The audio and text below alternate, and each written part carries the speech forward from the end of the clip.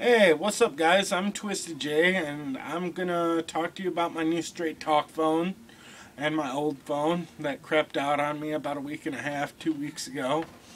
Um, but I went out, bought myself a new phone at Walmart, new Straight Talk phone from Walmart, um, and it's the LG Optimus Logic, which which it has a 3 megapixel camera. It's got AT&T service, um, which does get a lot better service now that I know it here. And it's probably definitely going to get better service at my house.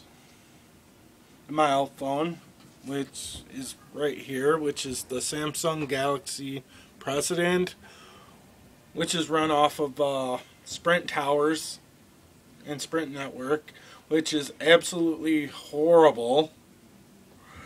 And I would not recommend this phone to anybody because the it takes hours to charge this phone. And it's just it's just a crappy phone in general. So if if I were to tell you which phone you should buy, I would either say go out get this one I paid 40 bucks for, which you can't really beat the price.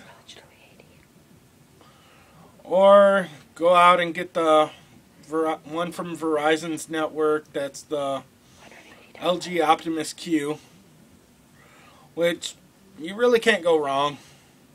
And I'm Twystid J and I'm out. Thank you.